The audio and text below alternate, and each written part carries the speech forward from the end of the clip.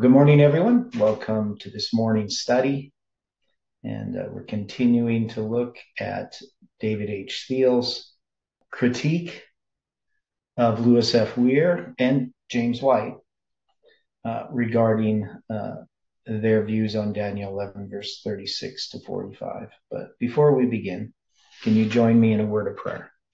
Dear Father in heaven, we invite your Spirit to teach us. You know, Lord, and that we know little.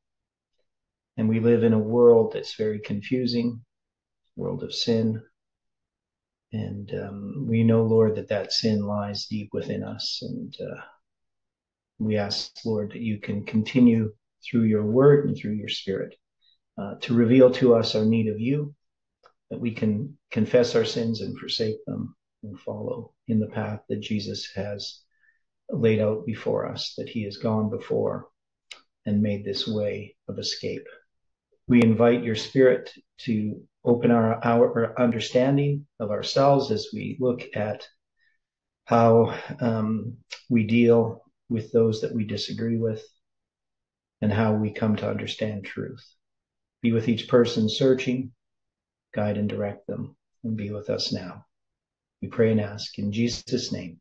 Amen. Good morning again. And so we were just moving into uh, in this paper to the critique of James White. So uh, David H. Thiele isn't just addressing Louis F. Were, uh, his views, uh, but he's trying to address what uh, James White has said about these verses. Now he does a little bit, you know, as we've pointed out, a little bit of mind reading and impugning motives upon James White and, and Louis F. Were. And um, we know we've talked a bit about, you know, how do we deal with people that differ with us? How do we present an argument? Um, you know, we need to avoid uh, highly charged uh, rhetoric, emotional language, argumentative language. We need to be able to present the evidence for people to look at and evaluate dispassionately uh, we need to allow the Holy Spirit to do his work and not try to do that work for the Holy Spirit. Um, so we're just going to read over uh, this, this paragraph here, and then we're going to look at, uh, well, I'm actually going to go back a little bit here, I think. Okay. Yeah, I'm going to just go back now. This is James White. So as, as uh, Thiele says James White wants Rome, the beast cast into the fire, to be the king of the north, because he concluded that being cast into the fire is the fulfillment of he shall come to his end, and none shall help him. But this conclusion is also flawed in its logic.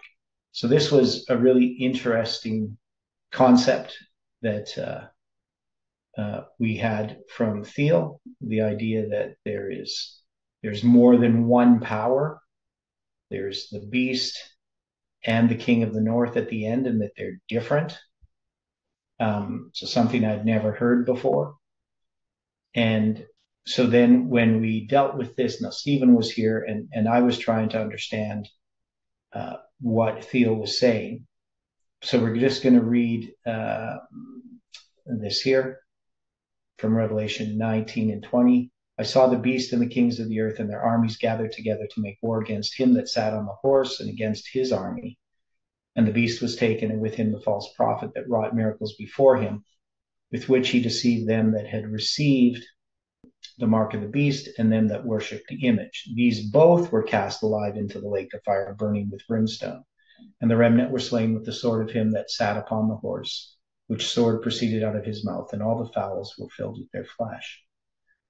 And when the thousand years are expired, Satan will be loosed out of his prison and shall go to deceive the nations which are at the four quarters of the earth, Gog and Magog, to gather them together to battle.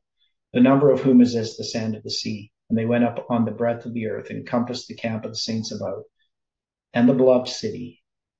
And fire came down from God out of heaven and devoured them.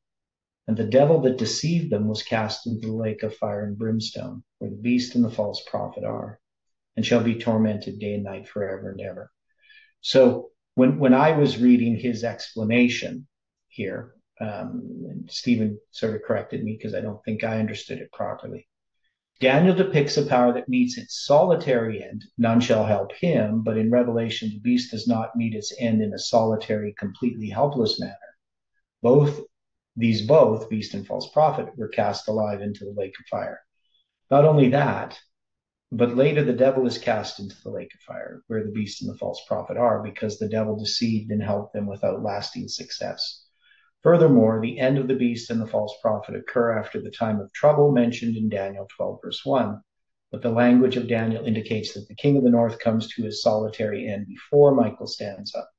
So there's, I, I was thinking that he was saying that there is two different, um, that since there's two different powers, the beast and the false prophet, that that maybe he was suggesting, Thiele was suggesting that you know false prophet was one of those that come to their end. But the way Stephen explained it makes more sense. And what Thiele is trying to say is that it talks about one power coming to its end with none to help him, which he says is the king of the north. And then after the close of probation, that we're going to see, like after the time of trouble as well, that um, we're going to have the beast and the false prophet come to their end. So they're not the same powers that come to their end right? So he says it's a solitary end, it's all on their own. Now, we looked at that and we could say, well, just because it occurs before 12 verse 1 doesn't mean that when it says, yet he shall come to his end, especially with the, when we looked at the verse, Daniel 11 verse 45, he shall plant the, the tabernacles of his palace between the seas and the glorious holy mountain Yet he shall come to his end and none shall help him. It doesn't mean that he comes to his end prior to 12 verse 1, right? One is we know that Revelation and Daniel and Hebrew prophecies often often written in a repeat and enlarged sense. So we don't just look at things happening continuously. We saw that all through Daniel 11. Lots of repeat and enlarge and explanations. So when we have the close of probation then in 12 verse 1, at that time shall Michael stand up we don't we don't say that the power had to have come to its end before Michael stands up. It's just talking about this power, what it's going to do. Yet it's going to come to its end, and then it goes back. At that time, shall Michael stand up? There's going to be a close of probation, right? And there's lots of repeat and enlarge within chapter 12. So so there's that point, and then uh, so when we go through his explanation here, what he says, we'll read this a bit more. Daniel depicts a power that meets its solitary end, right? But in Revelation, the beast does not meet its end in a solitary, completely helpless manner. And then, so so we can we can say that they don't have to mention both of them in Daniel 11, right? So deep, more detail is given because the beast and the false prophet in Revelation 13 is an expansion of understanding the Sunday law, where the details are not given in Daniel chapter 11. And, and he even acknowledges this idea that more details can be given. Now, he tries to argue that uh, since the, the details of, of France are given in Revelation, they must also have their seed or be given in Daniel. And we said that that doesn't follow. Not every, because he's already argued that there's going to be an expansion or a repeat and enlarge and more details provided. So you don't have to have uh, not not France so much, but Turkey as this major power, uh, you know, coming against France or as a whirlwind. That doesn't. That's not a major prophecy. Okay, and then of course the idea that um, that these things are consecutive Furthermore, the end of the beast and false prophet occurs after the time of trouble mentioned in Daniel 12, verse 1. So we know that's the case, but it doesn't mean that when it talks about him coming to his end in 11, verse 45, at the end of that verse, that that means it precedes uh, Michael standing up or the time of the end or the, or the time of trouble. In a sense, you could see it's just kind of the, the, the seed is there and, and it's going to be expanded on in Revelation. So then he tries to say that um, that there is some kind of and, and he's implying here either either Were was just ignorant of these historical nuances, in his defense of James White, or he did not care to make them prominent in his writings because they expose weaknesses. But one of the things we see with Thiele is that, in my view anyway, he doesn't lay everything out. He doesn't show his own weaknesses in his arguments. And he doesn't show the strength of Thiele's argument. That is, he tries to make Thiele's argument look weak. He uses all kinds of language. He tries to uh, he uses some straw man arguments. He uses some misrepresentation to suggest that that Were is teaching that uh, the plagues begin before the close of probation, for instance, which it's quite clear that Were never says that. And, and then he says, rather, he begins his objections by stating that the Ottoman Empire in the past could not have been the king of the North, the Turkish Republic in the present, nor could it could not be the king of the North. The facts of Turkish history will not fit the prophetic mold. Um, just comparing the statement with the facts just previously presented demonstrates the inadequacy of Were's conclusion, which we don't agree with. But rather than supplying the reader with historical facts that would support his conclusion, he relies upon other arguments to make it appear that Turkish history does not fit. We shall attempt to understand the weaknesses of his arguments in their order. Now, he says he begins his objections with a conclusion, right? And so even how Thiele is is expressing this is he's not he's not being fair and he's going to understand the weaknesses of his arguments now one of the things that i often do because if i am trying to show someone where they may be in error and and I'm writing a paper. You you can see this in in lots of my papers. I'm going to show the strengths of the arguments of the other person, not their weaknesses. That is, I'm not going to try to tear down what the person is saying in by by weakening their position. Anybody can attack weak arguments, especially when you misrepresent them. So just even in this idea, attempt to understand the weaknesses of his arguments in their order, I don't think is the best way to present the truth. I was going to say it's quite easy to pick at flaws. Yes, White talks about it, picking at flaws, because we all have flaws in our arguments. Now, especially when we present an argument. So, one of the things um, that I see often happen. So let's say you're in a discussion with somebody, you're, you know, you see like a YouTube video and somebody's having a discussion. Now, you often have to take shortcuts. You sometimes have to say things in a way that you can't fully support everything that you say, right? It's not possible. You only have a certain amount of time, whether you're you're speaking or whether you're writing a paper. Unless and, it's a PhD. Well, even, but even if it's a PhD, there has to be things that are assumed, right? Okay, I've never written one, so I just yeah, well, find it interesting I mean, that it takes so long. Base, there's a base of knowledge that is assumed, especially mm-hmm. in a particular topic in a particular discipline. You're not going to have to prove everything that you believe. yeah. Okay. Like yeah. Okay. We don't yeah. have to prove and, that we're alive. Well, nowadays it's almost in question. We're in a yeah. But yeah, there's just an assumed body of knowledge, whatever discipline you're in, that you, you're going to operate on. And so you talk within that context. Now, sometimes people will pick at someone because they didn't answer something that they think needs to be answered, um, or they're gonna they're gonna point out a logical fallacy, right? appeal to authority or something like that. And, and yet there's often lots of reasons why that person has made that statement that they're not sharing. And, and I find this in the area of biblical chronology. Like people will ask me lots of questions, which I like. They'll say, well, how did you do this? Or how did you do that? Because I'm not going to explain everything because I just don't have the time. And, and the fact that they can notice that there are things that aren't explained and they can ask about them is, is really helpful. And, it, and it's good for them that they can notice these things. Uh, Stephen paying, paying attention. Yeah, they're paying attention. They're, and they care. They care about it. Yeah. Now, there are people who just come and they attack because I make some statement they don't agree with. And even though I've actually supported it in my paper, you know, they're not going to read the explanations, right?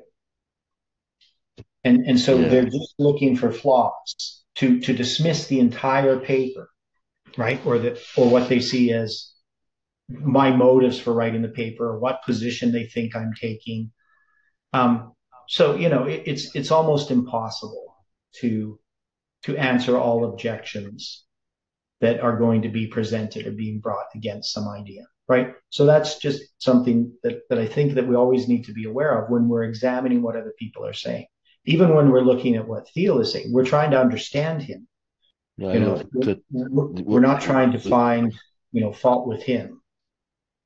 One of the one of the things i do like you know, we get these on Facebook, social media, these hackers that copy other people's accounts and and they pop up and I just ask, well, where did we meet? Or something that would that other person only that other person would know. So, in the yeah. same same way, I um, if I want someone is asking me a question about me, I send them well lately.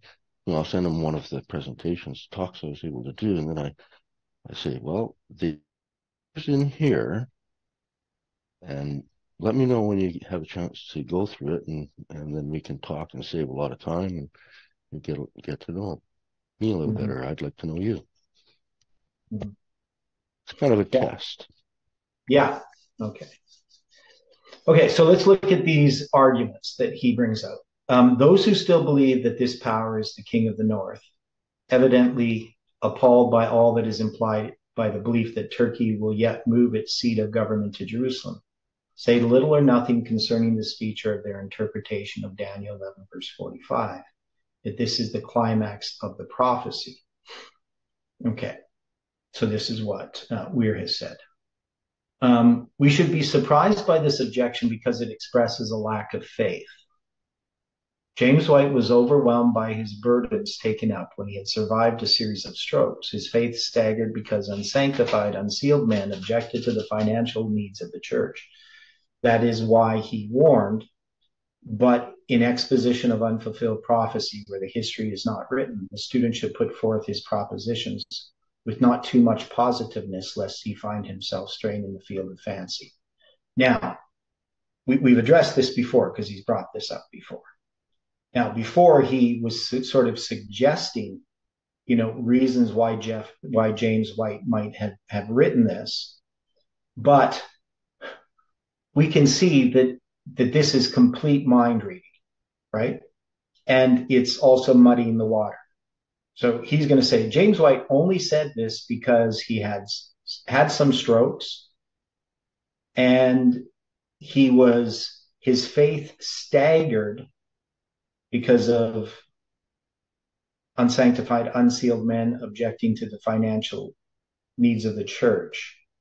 So that's why he warned, but in exposition of unfulfilled prophecy. Does does that even make sense to anyone?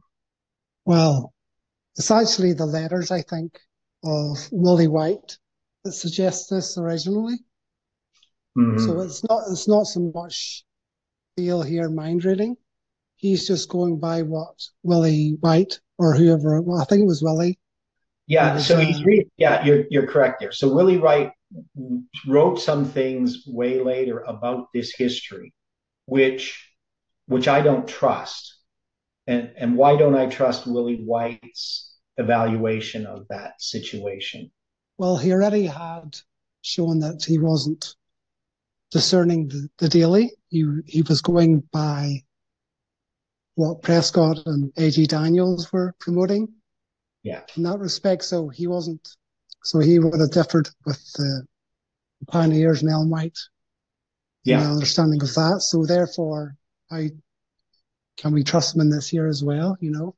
And there's also James White had been writing about the King of the North being the papacy long way then I think it was the 1850s or something. So when he yeah. wouldn't have been had that stress with the church and so forth. So right. just to sort of say it, that it was connected to that there to me is not a, a good argument. Uh, this was something that James White had promoted and, and sort of believed for for decades prior to that period where he was stressed. Yeah, and and you still have to, to so with Willie White, he's he seems to be involved in the politics of the church, right? Some of his views seem to appear to be influenced by what's happening around him. That is, he's not really an objective source. And, and this is stuff that he's writing about it long after it happened, right? In a different environment.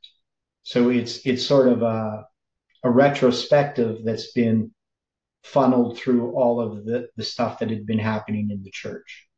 That's that's my understanding of reading Willie White's uh, you know testimonies. Now you're going to have Arthur White also repeating this, but again, it's what I would call hearsay.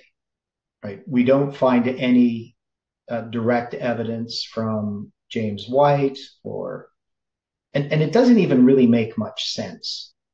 Right? I mean, can we find a connection between men objecting to the financial needs of the church and and James White then giving this warning? Like, is there a logical connection between the two? You know, people might be able to find some kind of connection that, um, you know, or theorize some kind of connection, but I can't really see it. Uh, and then he says here, yet Were would tempt Smith and others to be more positive in their predictions, as he then abandons the church's position and tempted others to also forsake it by this type of objection. So the idea here is that he's saying, well, you have this theory. This is what we are saying. Where is this going? Right? Thiele is, intempting, is interpreting this that Were is tempting Smith and others to be more positive in their predictions. And then all this, this language here that he abandons the church's position now, is that the church's position? Is the church's position that that the king of the north is Turkey? No. No, right? Now, it's some people's position, but it's definitely not the church's position. Does the church have a position on the king of the north being Turkey or the papacy or anything like that? We, we would have to say it doesn't have a position. So, right so this you know this is where i have this problem is is how he's addressing this. And then he's using this tempt right? Tempting others also to forsake this by this type of objection. Which which i don't think if you read Were that you will find that he's trying to tempt anybody about anything. He's he's actually presenting more positive arguments rather than you know this this cherry pick sort of statement and we're going to look at Were, what Were has to say about it. However, if we can, if we were to consider the belief of a transfer of capital to be impossible, the distance between Rome and Constantinople is about 120 miles less than the distance between Constantinople and Jerusalem. The journey made by Constantine the Great from Rome to Constantinople, Istanbul, was about 1,068 miles. To move the government that great a distance in 330 AD would have been a tremendous undertaking, Daniel recorded the interpretation of such an event in Daniel 11:24. And though there is no time prophecy on which to base another move of capital, as suggested by Smith, it is not so outlandish, especially when Turkey has been made, making demands that Jerusalem be returned to them. The ease by which countries can mobilize today is significant compared to the slowness of ancient travel. Any response by those who oppose Turkey's desire to reacquire Jerusalem will also be swift and monumental, any doubts that Turkey could never fulfill the prophecy would be statements of unbelief in God, who removeth kings and setteth up kings. Now, we might find, you know, this pretty a pretty remarkable sort of argument. So the argument is Smith had made this claim that the capital of Turkey is going to be moved to Jerusalem. Now we we we understand that that the land of Israel has no part in biblical prophecy. That's how Israel has no part in biblical prophecy.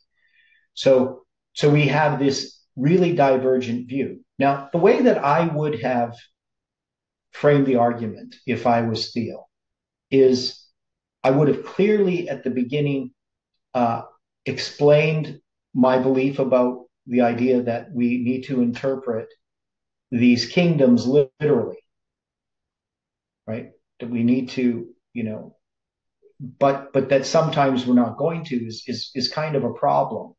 So if we're, if Babylon is not going to be Iraq, but it's going to be the papacy, you know, um, or the kingdoms of this world, uh, it's going to be universal rather than local.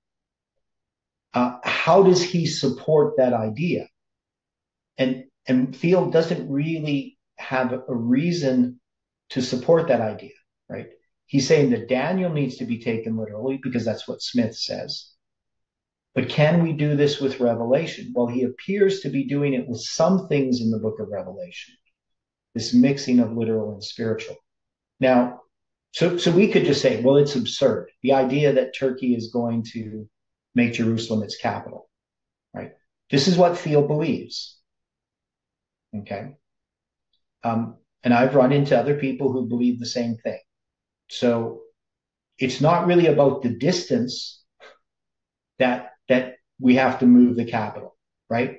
So what kind of argument is that when we talk about the issue of the distance? What is he doing by presenting this this type of argument?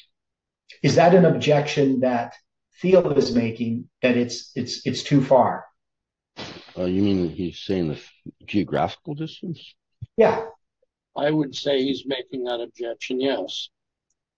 You're saying that that we're is, is we're making the objection that it's too far. No. No. So Thiele so, yeah, Thiele is is saying that it's not too far. I might have said Thiele instead of Were. So Were is not making this is not an objection that Were has given. Were has not said the reason why I don't believe that the capital is going to move from Turkey to Jerusalem is because it's too far.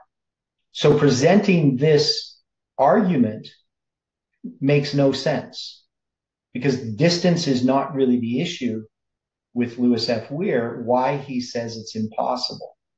Right? Horizontal.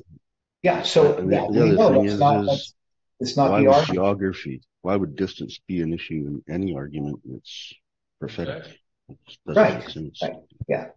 It's, it's not the argument, right? The argument is that Turkey can't be the king of the north, not because of any distance between uh, uh, Constantinople and Jerusalem, but because the symbols don't fit.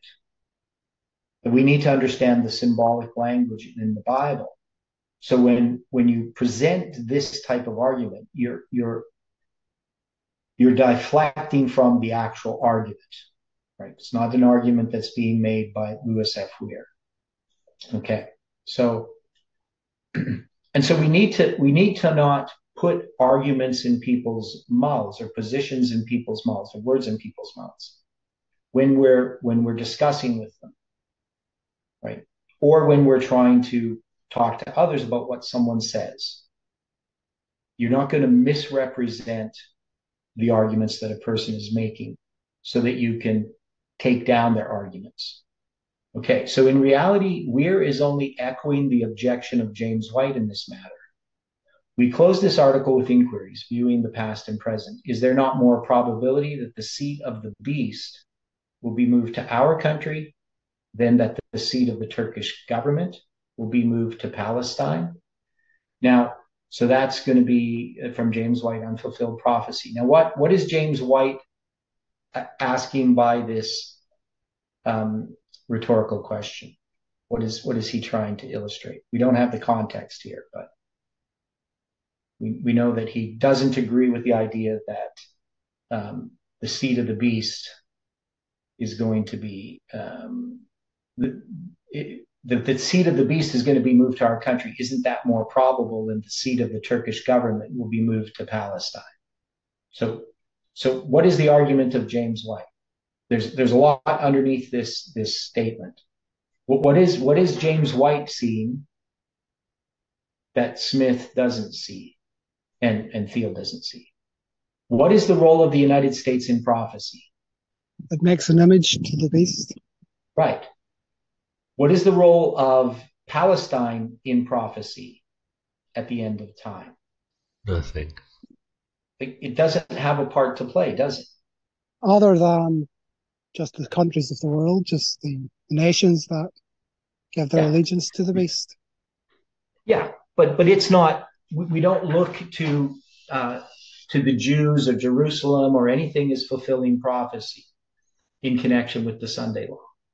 They're not part of of prophecy in that sense, right? We're not looking for wars in Palestine. Now, I think Thiele is, right? Based on what he has said, he thinks that, you know, and, and I would think people who are looking at, at Israel, like the evangelicals, the Protestants, like they're looking at what's happening in Israel today, and they're trying to find fulfillments of prophecy in these events. They did it back during the Iraq War. And and they continue to do this right? And and then we have to ask ourselves is that valid? As seventh day adventists do we look to jerusalem? Does jerusalem have a part to play in bible prophecy today? Now we we've taken the position it doesn't. But if we are wrong about that we would have to be able to show that we're wrong about that now, we often go to Ellen White's statements uh, from early writings, page 74 and 75, where she's going to talk about uh, Sister Minor, right? The ones who believe that we should go back to Old Jerusalem. And, and Ellen White says, Old Jerusalem will never be built up. Now, some people have used that statement of Ellen White's uh, to show that she's a false prophet. Like, has Old Jerusalem been built up? You, you understand the uh, statement. Let's see if I can find it here because I might be paraphrasing it. Spiritually, it is. Well, we're not talking about spiritually. We're talking about. Yeah. Well, even even in Ellen White's day, there was something like so many thousand. Was a city there with at least maybe ten thousand people. So in a sense, it was already physically built up at that time. It has grown since. No, but it's um, yeah. depends okay. how what, what she's meaning and being built up. Yeah. Yeah. So she's talking about like, you know, the temple in Jerusalem is not going to be built. All those things. The state that Jerusalem is going to be established again, right? In in in in sort of the biblical sense. Um, so this is uh, early writings. You know, it's going to start on page 74, right? That's where you're going to, you know, you're going to have that. This is actually October 23rd, right? That was a typo of James White that continued to propagate in the different editions of this vision. But it was October 23rd that the Lord showed me that he had stretched out his hand a second time to recover the remnant of his people it's where I saw in relation to the daily that the word sacrifice was supplied by man's wisdom, etc. And then this part. Then I was pointed to some who are in great error, believing it is their duty to go to Old Jerusalem and think they have a work there, have they have a work to do there before the Lord comes. Such a view is calculated to take the mind and interest from the present work of the Lord under the message of the third angel. For those who think they are yet to go to Jerusalem will have their minds there and their means will be held, withheld from the cause of present truth to get themselves and others there. And I saw that such a mission would accomplish no real good, that it would take a long while to make a very make a very few of the Jews believe even in the first advent of Christ, much more to believe in his second advent. I saw that Satan was great has greatly deceived some in this thing, and that the souls all around them in this land could be helped by them and led to keep the commandments of God but they were leaving them to perish. I also saw that old Jerusalem would never be built up, and that Satan was doing his utmost to lead the minds of his children of the Lord into these things now, in the gathering time, to keep them from throwing their whole interest into the present work of the Lord, and to cause them to neglect the necessary preparation for the day of the Lord. So, if old Jerusalem is would never be built up, how would this relate to what we're discussing here? what is what is the issue? So the issue has to do with how, the Turkey part that Israel has in prophecy. What's that, Kelly? Turkey and Jerusalem. Okay, so that, well, I think the main point is that Ellen White is just saying, you know, we don't look to what's happening in Jerusalem as part of end time prophecy. The United States is where that is the promised land, right? That is the glorious land. You know, once we have literal Israel is no longer God's denominated people with the stoning of Stephen in 34 AD. And and we don't have God's denominated people again until the Seventh day Adventist Church. Right. So they represent Judah. The United States represents the glorious land.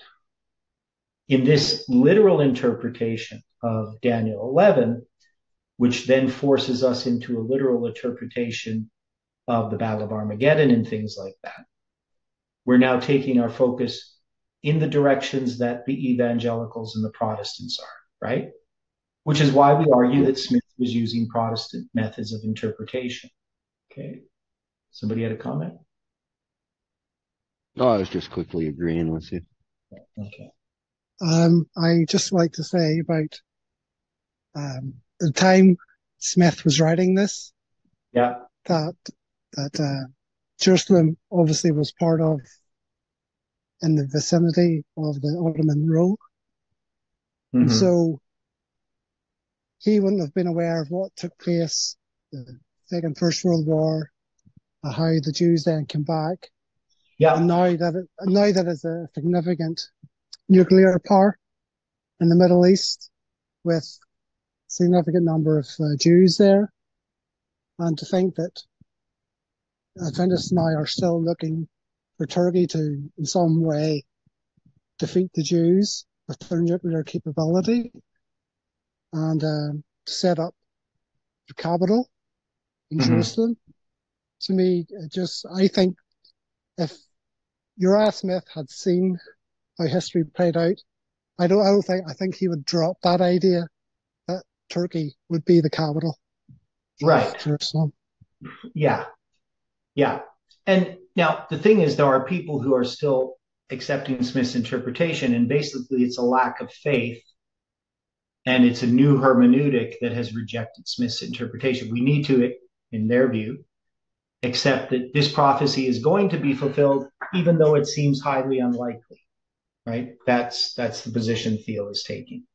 Right. So I mean, this is an extreme position, but you know, it, it's the position that he has, and how he's supporting it and how we support our beliefs is really what we're examining here.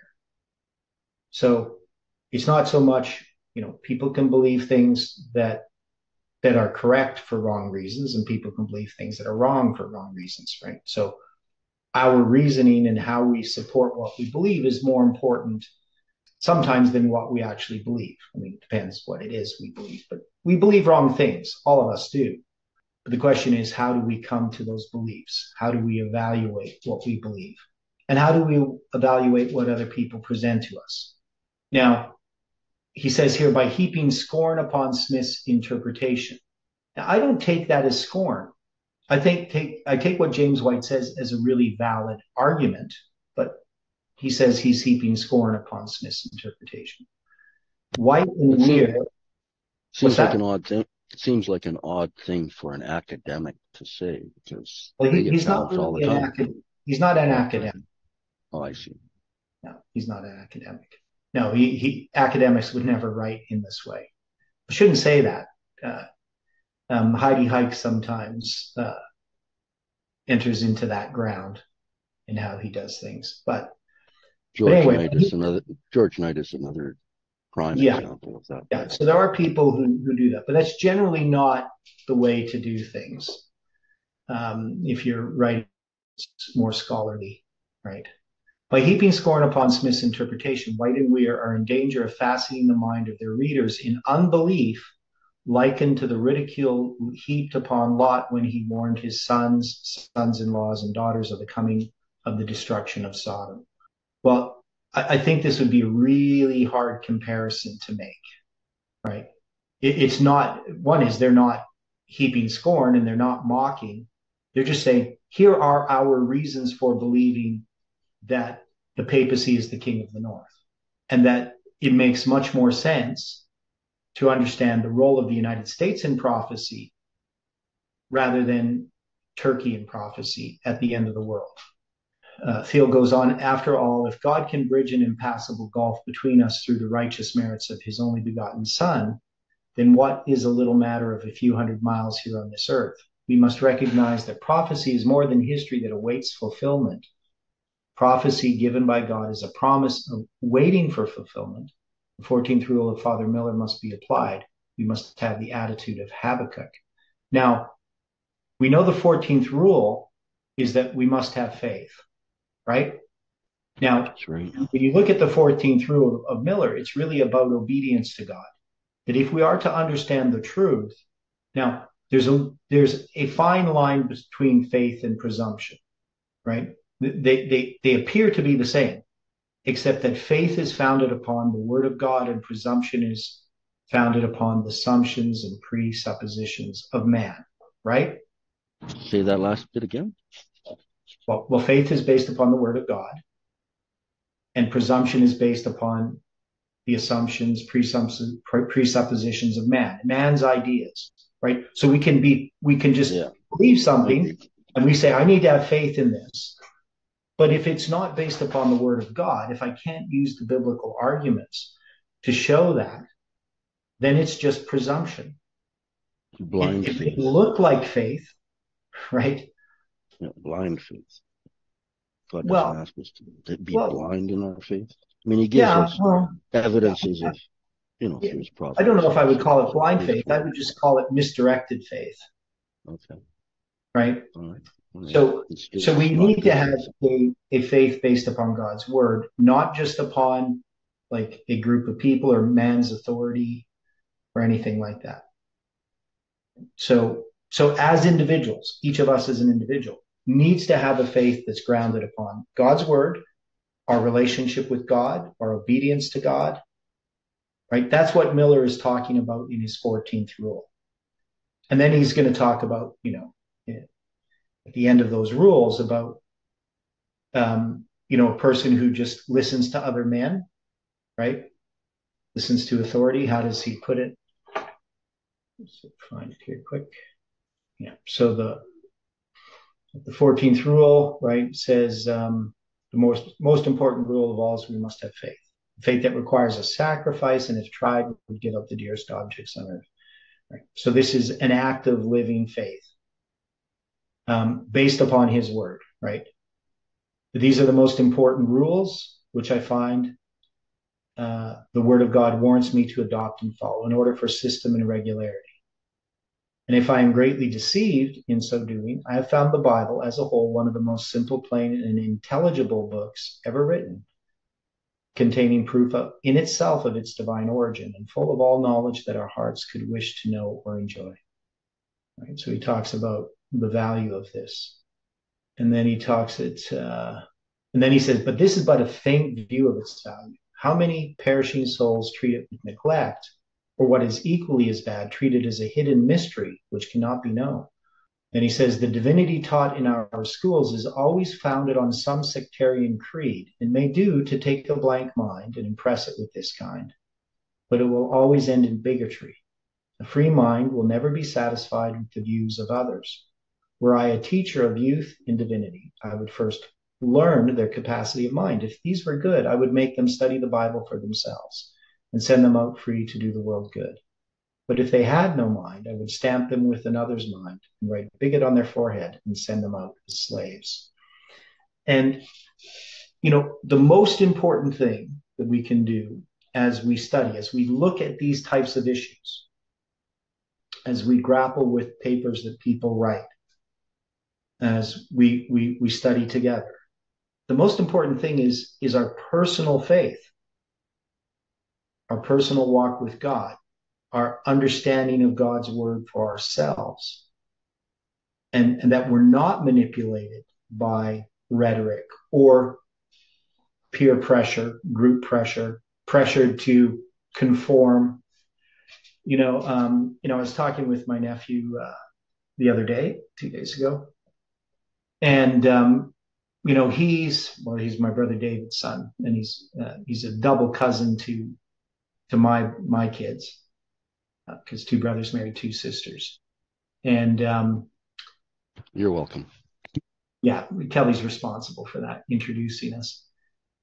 So, uh, anyway, you know, he's so much like his dad, and he's so much like my kids. You know, his dad was killed by a drunk driver October 13th, 1990. So Daniel's had a pretty rough life. You know, his mom kind of abandoned him. He was raised by different people, relatives and stuff, and um, lived with us for a year. Um, and he was pretty angry when I met him, uh, when, when I ran into him on Sunday. And I'm not sure what he was angry about, but he was angry at Seventh day Adventists. And so he was giving me a really hard time. His wife was kind of upset with how he was talking to me. But I talked to him about, you know, the effect that his his dad had had upon me. That I mean, my brother Dave was the reason I became a Christian. He was the biggest influence in my life spiritually when I was a teenager, and um, you know that softened him quite a bit. But uh, the thing that that he doesn't understand about me, maybe you guys don't all know this about me, but I'm not really interested in the organization of a church or denominations. Now, I believe in Seventh day Adventism, right? I believe in the Bible and the spirit of prophecy. And I believe that, that God raised up this church for a purpose, just as he raised up ancient Israel. But that purpose is not going to be realized by a dependence upon the church, right? The church is not the place where we find salvation, right? Yeah, that's right. Uh, it's, it's church has become a bureaucracy rather than a movement or a business. Hard, yeah, yeah, big yeah. business. Right. So, so when I became an Adventist, I mean, was not interested in joining a church, but I recognized that God was leading me in this direction to become a Seventh Day Adventist, and I was never a part of the the culture and uh, a belief in in the that the organizational structure was the way of salvation. I believe in that the individual needs to know God personally. So that that's my belief. So some Adventists don't like that.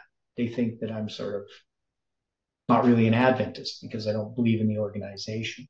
Now, I believe in organization and I believe that God had organization for a reason and that that organization has that the church has entered into a new organization in 1919 with the books of the new order. I don't think it's a sin, you know, to be a part of the church and to work in the church. But we need to recognize that we can't just like be saved in the church. We have to know Christ. And um, so when we uh-huh. deal with with all of these these issues, all of this confusion that's out there, the only thing that's going to save us is do we study God's word for ourselves? Do we have a living, active faith with God?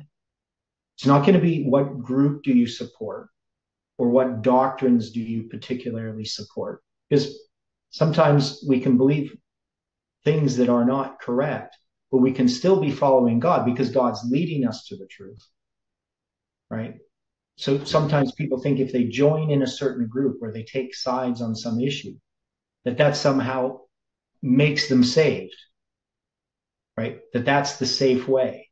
But we can see that it's not going to be some uh, creed, right?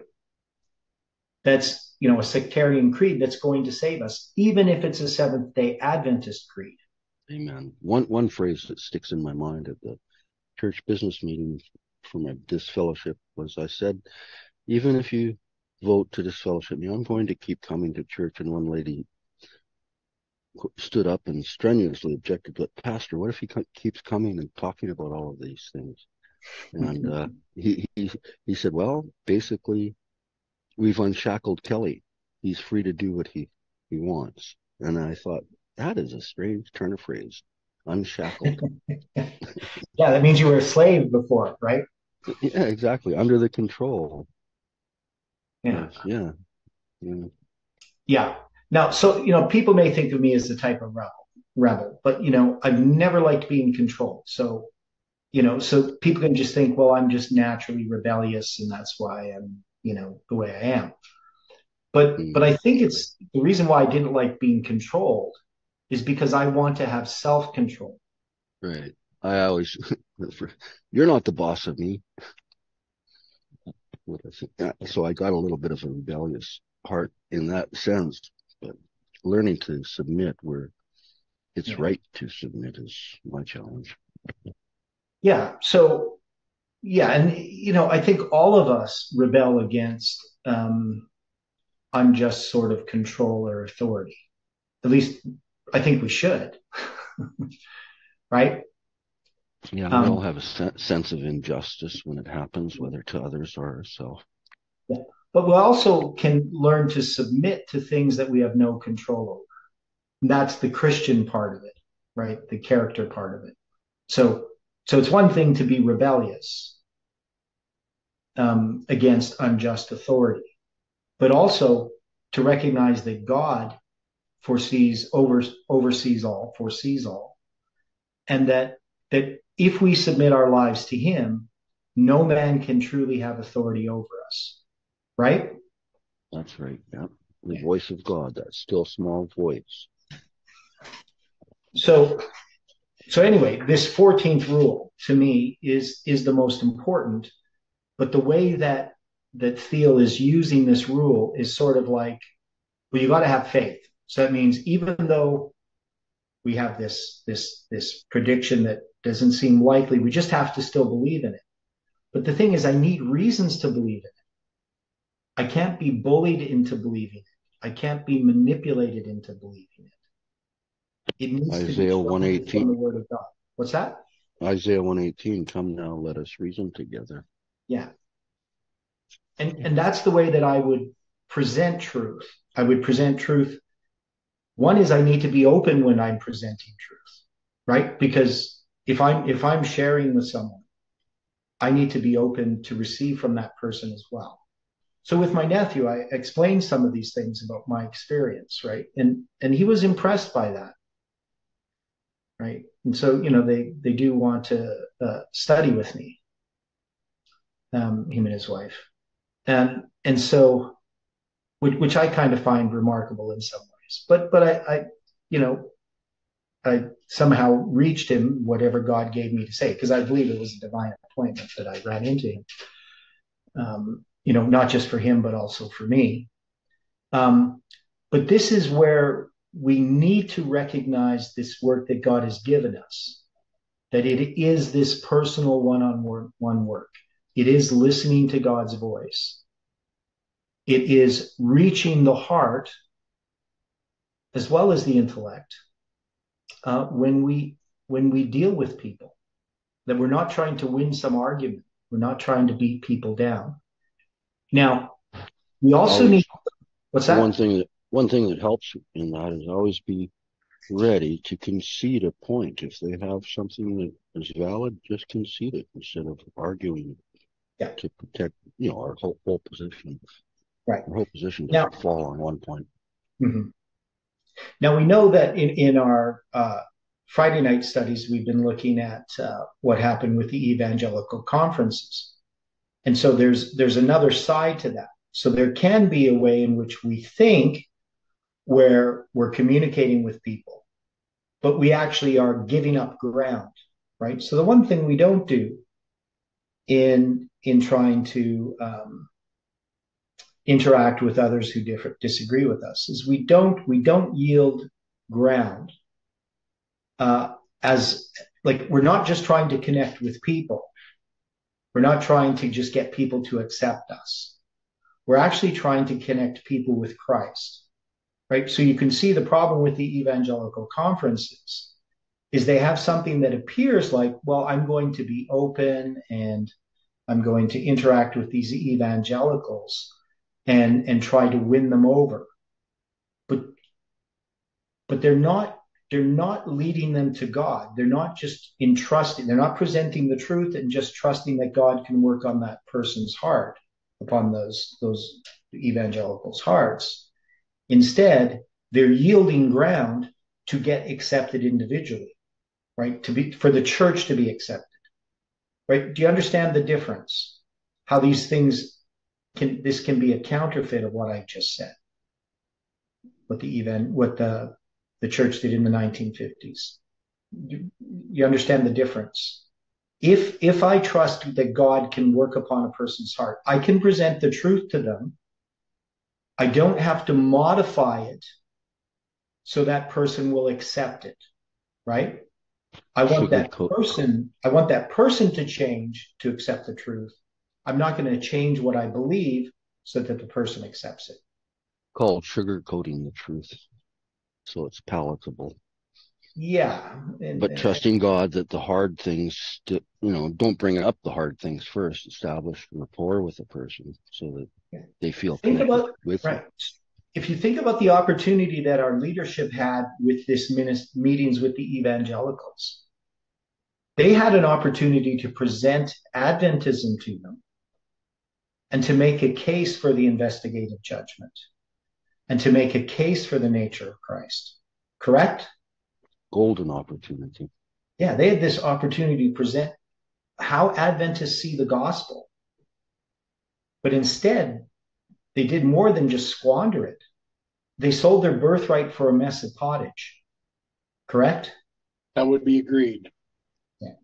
So this is something we, we have to we have to understand, you know, that there is there's things that can appear close to the truth and and and yet aren't. So so in in in I'm just trying to give a real balanced view of this that that, that there is this this personal work that we have to do, but we do have interaction with others. We have an interaction with the church. We have a responsibility to each other. And we don't know everything. But there are things that, that we do know. We do know that God's word is true and that any argument being presented has to be supported by God's word.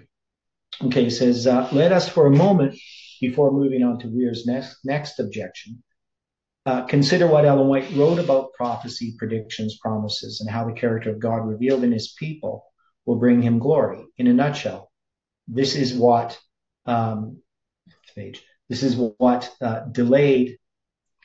This is what delayed uh, fulfillment of this prophecy is all about. The circumstances are the apostasies of God's people, God's expression for justice, Moses' intercession for mercy, and God's promise of pardon, not only in Moses' day, but also in ours. It was upon his knowledge of the long suffering of Jehovah and his infinite love and mercy that Moses based his wonderful plea for the life of Israel when, on the borders of the promised land, they refused to advance in obedience to the command of God. At the height of their rebellion, the Lord had declared, I will smite them with the pestilence and disinherit them. And he had proposed to make the descendants of Moses a greater nation and mightier than they. Numbers 14, 12. But the prophet pleaded the marvelous providences and promises of God in behalf of the chosen nation. And then, as the strongest of all pleas, he urged the love of God for fallen man. Graciously the Lord responded, I have pardoned according to thy word. And then he imparted to Moses in the form of a prophecy a knowledge of his purpose concerning the final triumph of Israel. As truly as I live, he declared, all the earth shall be filled with the glory of the Lord. God's glory, his character, his merciful kindness and tender love, that which Moses had pleaded in behalf of Israel, were to be revealed to all mankind. And this promise of Jehovah was made doubly sure. It was confirmed by an oath. As surely as God lives and reigns, his glory should be declared among the heathen, his wonders among the people. So Thiele goes on, God's glory will be fulfilled in us. The sealing should have been finished by now, but in and by his mercy, the commandment is proclaimed to hold back the winds of strife until the sealing is complete. Now, of course, we would agree with this, that there has been this delay and that um, we need to focus upon the work that God has given us, the promises that He has given us that He's going to complete it. It doesn't really support his argument that Turkey's going to move the capital, uh, their capital from um, Constantinople or Istanbul to um, to Jerusalem, right? Uh, the prophecy of Daniel 11:43. So this is the second point of uh, Were's. The prophecy of Daniel 11:43 says the king of the north says the king of the north, the Libyans and the Ethiopians will be at his steps. In Exodus 11 verse 8, margin. The same expression is employed when referring to the Israelites acting under, under the government of Moses. So in, it's going to refer to the same expression is employed. So we'll take a look at that Exodus 11 verse 8 here. I'm just going to look at that. And all these servants shall come down unto me and shall bow down themselves unto me, saying, Get out. And all the people that followed thee, and after that I will go out. And he went out from Pharaoh in great anger. So I'm not sure what he's referring to. That's Exodus 11, verse 8. Well, that maybe it's just I will follow. Um, that's probably what he's referring to. Okay, that's Hebrew number 72, 72. Okay, anyway, I'll read this here. Sorry about that. See, so see Judges 410, 1 Kings 2010, the margin, 2 Kings 3 9. The Ethiopians were never under the government of Turkey. They were never in the steppes of Turkey. Gibbon says that after the seventh century, compassed by the enemies of their religion, the Ethiopians slept for nearly a thousand years, forgetful of the world by whom they were forgotten. So this is we're saying basically, if we're going to be taking these nations literally, then we would have to take Libya and Ethiopia literally. And he's saying that the Ethiopians were never under the government of Turkey. So this is an argument of where. Now, um, yeah, I'm just looking at this word here. So, okay, so that's what he's referring to in that verse. Is uh, is following. Okay. Okay. Um, context is everything. We quoted Gibbon so far as it's as it he Were quoted Gibbon so far as it benefits his objection. However, he purposefully omitted the very next sentence, paragraph even, obscuring the time frame of Gibbon's statement, as we shall soon see. The events recorded by Gibbon do not include the papal bull that granted the Portuguese the right to attack Muslims, who, upon observing the friendship developing between Port- Portugal and Ethiopia, would want to prevent such a ludicrous, ludicrous, lucrative trading alliance. Okay. Um, okay. So they were awakened by the Portuguese, who, turning the southern promontory of Africa, appeared in India so this is 1525 to 1550. Uh, appeared in India and the Red Sea as if they had descended through the air from a distant planet. In the first moments of their interview, the subjects of Roman Alexandria observed the resemblance rather than the difference of their faith, and each nation expected the most important benefits from an alliance with their Christian brethren. In their lonely situation, the Ethiopians had almost relapsed into the savage life.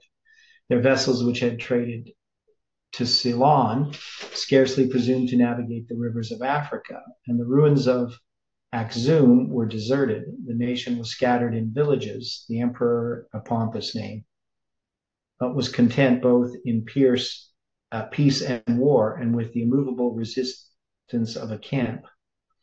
But the public danger suit called for the instant and effectual aid of arms and soldiers to defend an unwarlike people from the barbarians who ravaged the island country and the Turks and Arabs who advanced from the seacoast in a more formidable array. Ethiopia was saved by 450 Portuguese who displayed in the field the native valor of Europeans and the artificial powers of the musket and cannon. In a moment of terror, the emperor had promised to reconcile himself and his subjects to the Catholic faith. The Latin patriarch represented the pre- supremacy of the Pope, the empire enlarged in a tenfold proportion, was supposed to contain more gold than the mines of America, and the wildest hopes of avarice and zeal were built on the willing submission of the Christians of Africa. Okay, I'm not really sure I follow what his argument is here. Anybody understand what the what the objection is to what Were has said? Forgive me for my wandering mind, but what is it again? Well, the idea is that Were is saying that you know if we're taking basically he's saying if we're taking turkey as literal then we have to take the libyans and the ethiopians as literal. And he's saying the ethiopians were never under the government of turkey. They were never at the steps of turkey. And gibbon says that after the seventh century compassed by the enemies of their religion the ethiopians slept for nearly a thousand years forgetful of the world by whom they were forgotten. And then he's going to use this paragraph saying well the Portuguese came in and saved uh, Ethiopia at, at some point from. Uh, I'm not. I'm not versed in the history of all that. So. Me neither. But I'm not really sure how this, if they were saved from the Turks and Arabs who were coming against them, how is this? How is this even addressing what the prophecy is talking about? I, am not sure. So I'm not sure I understand this argument. Um, it should be here noted that Gibbon wrote extensively on the history of Rome and not of Ethiopia. We cannot be certain of the borders of Ethiopia in the time of Daniel or how precisely they fluctuated during the nearly thousand years Ethiopia was safe from Roman Catholic persecution. So Were could not possibly rely upon Gibbon for a history of interaction between Ethiopia and the Ottoman Empire except in this one instance, nearly 250 years before Daniel 1143 was fulfilled by the overwhelming Ottoman response to the invasion of the French in 1798. Yet we have this observation made by a commentator who lived through the Napoleonic Wars. Uh, the Libyans and Ethiopians, the Kushim, unconquered Arabs, all sought their friendship, and many of them are tributary to the present time. One does not have to be conquered to be a follower, as Were attempts to establish by his Bible word study. Tributes may be levied to protect um, sovereignty and independence, much the same way Byzantium uh, prevented the invasions during the nearly 3,000 years it outlasted the fall of the West. Ignoring Adam Clarke, Were casually, casually dismisses history that does not fit into his desired objective to vindicate James White as a mean for establish means as a, for establishing his own views. Now, I actually, I don't believe that that Were uses James White as a means for. So one is the whole characterization of how Were uses James White. I'm not really a fan of because that's not why what Were is trying to do. He's not trying to vindicate James White, and he's not using James White as a means for establishing his own views. So that characterization is incorrect. But but I'm not really one, sure what that argument that Were makes. Yeah, Kelly. Uh, one thing I do recall about Ethiopia is that that they were a group of Sabbath keepers. There, they kept the Sabbath. Is that why the papacy? One of the reasons for them giving them trouble? Well, I don't know. I mean, yeah, yeah just one of those. So we have Ethiopia and Libya representing uh, the rich and the poor. Ethiopia is um, the rich and Libya the poor, I believe. But I'm, I've never been really convinced on that interpretation of Ethiopia and Libya. But because uh, I, I don't really find strong support for it. But the one thing we'd have to say is that this is going to be talking about if it's literal, then it has to be Ethiopia and Libya, Lib, uh, Libya literally, right? So exactly how that would be fulfilled or what they're trying to say regarding Turkey. I mean, Turkey would move its capital, Jerusalem, and Libya and Ethiopia would be following them, be at their steps. Yeah. So, so yeah, Stephen. To me, it sounds as if he's saying that the the Arabs and the Turks, or Islam anyway, almost at some stage conquered Ethiopia, but the Portuguese, almost. yeah, yes, but the uh, but the Portuguese uh, stepped in and prevented that. So he's just sort of saying this almost happened in the past, so maybe it, it could it, happen in the future. Yeah, that's yeah. I don't I don't know if it's an argument that I would, you know, either from Were's perspective or from Thiele's perspective really address. I mean, it's it's kind of obscure, right? So so I'm not even sure that I understand Were's arguments completely on that point. Yes, it's not a very well, yeah. It's, it's not, it's not really a strong argument. No. No. But but it's one of the weaknesses in his arguments that that Thiel is pointing out. Okay. We got about 10 minutes. So uh, the prophecy also declares in Daniel 11:40, at the time of the end shall the king of the south push at him. So this is weird. In support of the belief that Turkey is the king of the north, it is said that in 1798, Egypt did push or make comparatively feeble resistance against France. When we permit the Bible to be its own expositor, we learn from the use Daniel has already made of the word push, 8 verse 4, that it is employed to describe a power that is vigorous and successful in its campaign. So uh, Thiele says, we accept that Daniel 8 4, we are mistakenly published Daniel 7 4 as the source of verse in his next sentence, uh, describes a pushing that is successful in its result. So there is a typo in originally, I guess. But if we accept the Bible as its own expositor, we don't rest upon one verse only to ascertain the word, meaning of a word as Were appears here to do. The word has more to do with initiating aggression. Note how Moses passed down legislation regarding the ox that gores or pushes to the point of injury or death. If an ox gore a man or a woman, that they die, then the ox shall be surely stoned, and his flesh shall not be eaten. But the owner of an ox shall be, be quit. But if the ox were wont to push with his horn in time past, and hath been testified to his owner, and hath not kept him in, but that he hath killed a man or a woman, the ox shall be stoned, and his owner shall also also shall be put to death. Ezekiel gives another example of regression in this parable, warning us against a harsh attitude towards those who are weaker than us. Therefore, thus saith the Lord God unto them Behold, I, even I, will judge between the fat cattle and between the lean cattle because ye have thrust with side and with shoulder, and pushed all the disease with your horns, till ye scattered them abroad. Therefore I will save my flock, and they shall no more be a prey. And I will judge between cattle and cattle, and I will set up one shepherd over them, and shall feed them, even my servant David. He shall feed them, and he shall be their shepherd. While many instances in the Bible give the impression that push, pushing results in victory, such is not always the case.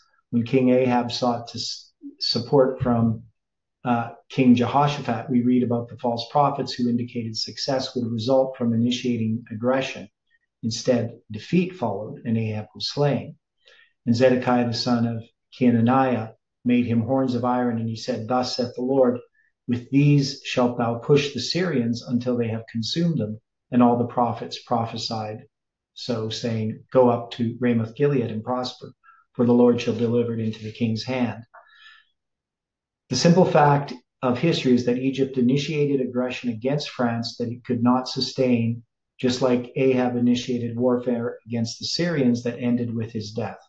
Napoleon's battle tactics on land proved superior despite the naval debacle on the Nile, and much of Egypt came under the temporary occupation of France. Now, this one's an easy one. So, has he supported his view with the use of these verses, especially the last one there in uh, dealing with Zedekiah? I don't think so. No. So could we say what Egypt did, which is described as feeble resistance, as pushing based on those verses? We, we can't. And, I think we established that yesterday. What's that? I think I think we established that yesterday with yeah. slight resistance does not equal push. Right. And and we can also see here this example that he gives well he says it doesn't always result in in success. Well, he is proclaiming that it's going to be success when the, these will push the Syrians until they have consumed them, right? Okay. So this this uh, verse here is um, what's the verse? Uh, First Kings 22, 11 and 12. So if we look at those verses, yeah, that's a poor argument. It's a poor uh, argument. Yeah. yeah, because they're, they're prophesying they are going to have this year victorious victory. Yeah. And uh, just because it didn't happen doesn't mean it changes the context of the, what the meaning of the word is. Right. And and this is going to be a false prophet, right? Yes. So so the false prophet is not prophesying defeat. He's prophesying victory by using the word push. Yeah, so it's it's pretty clear. I was just looking at the verse. Happened here? Where did I go here? Okay. so we'll, we'll stop there. I think uh, I don't think we have time to look at at the rest of this here, but um, you know we're trying to be fair here with with uh, David Thiele, and um, you know, obviously he believes differently than. We're obviously concerned about him. We're not trying to attack him as a person. We don't know him personally. We don't know his character. We don't know his motives. He has a belief that we don't share. And I haven't seen a good reason yet in anything that he's presented to, to accept the idea that we should take all of Daniel literally and that we should take the, the nation of Israel literal as part of a prophecy at the time of the end. So, now he believes that that's a false hermeneutic and that it doesn't follow Miller's rules. But we know that it does follow Miller's rules because Miller understands that there's types, that not everything is to be taken literally, and that there are there are reasons why we take things as symbols, especially when we're told they're symbols or they don't make sense literally. So so the Battle of Armageddon, exactly how he understands it. Part of the problem I have having with Thiele is he doesn't really lay out his beliefs in in an orderly manner, right? So it's a lot easier if somebody says, "Here's what I believe. Here's the verses. Here's why." Um, instead, he's he's using this as a criticism against Were. That's his sort of framework in which he's he's doing this. Now, I haven't found any other papers that he's written, but I'm sure there must be some. He must have written some other stuff. Maybe. Maybe he hasn't. Maybe this is the one presentation that he did. But at this point, I don't see good arguments. Now he's going to go, you know, he's going to go through. Let me see here. We got four, five, six, seven, eight. So there's going to be, I think, eight week, nine weak arguments right? And, and some of these are going to be addressing uh, a lot of other statements. So I think there's nine nine arguments that um, we're going to have to look at. So we've looked at three of them. So we've got six more. Oops, skipped. I don't know where that was. And and so finding these weaknesses, I, I don't think is is the best way to present truth. But that that's my understanding of things. And, okay, there's one, two, three. I'm just trying to line this up.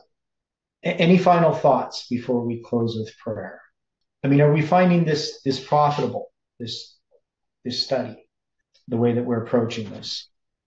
Number four, uh, uh, the belief that in 1798 Turkey was the king of the north. Is that what Were said? That that's what Smith believed. Oh, so. Oh. Yeah. So this is Were saying the idea that Turkey is the king of the north and Egypt's the king of the south seems very incongruous. Mm, okay.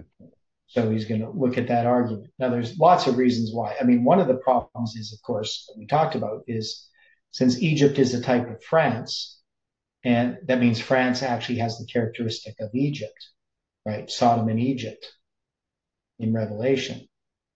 And so if France is, uh, if Egypt's coming against France, how is that, how does that make sense? Right. But we, will look at this, this one tomorrow. Okay. Well, let's close with prayer.